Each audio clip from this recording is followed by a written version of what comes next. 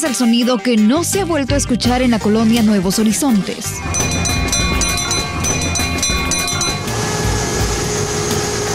Hace 15 días no pasa el camión recolector de basura y cada hora hay una bolsa más llena de desperdicios.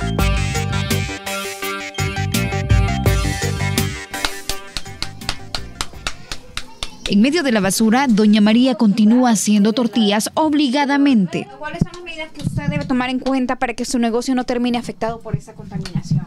Lo primero es que pues sí que vengan cada fecha que ellos han dicho para venir a recoger la basura. Mira, ahorita tengo cerrada la ventana, tengo bien tapada la masa, que varias gente lo que hace es venir a ventarla, claramente no, no aguantan el, a veces hasta se engusanan también, ¿va? Claro, tenerlo en la casa no es tan bueno. Pues sí, también ellos se obligan a venir a bajar a la calle. Ella no puede cerrar el negocio porque de él se alimenta su familia. Hay varios que no me, habían, no me vienen a traer tortillas y los impuestos siempre vienen recibo a recibo cada mes.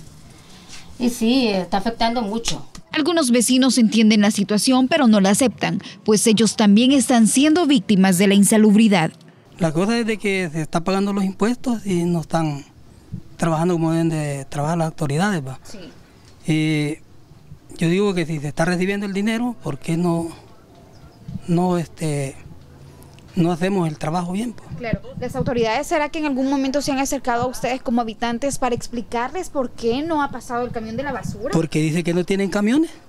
Esa es la respuesta que ellos Es la respuesta que dan. ¿Y usted qué piensa de esto? Bueno, que para camionetas blindadas buenos carros sí tienen. Y para la, la cosa que debe ser del pueblo, no lo tienen. Que no tiene que ser así.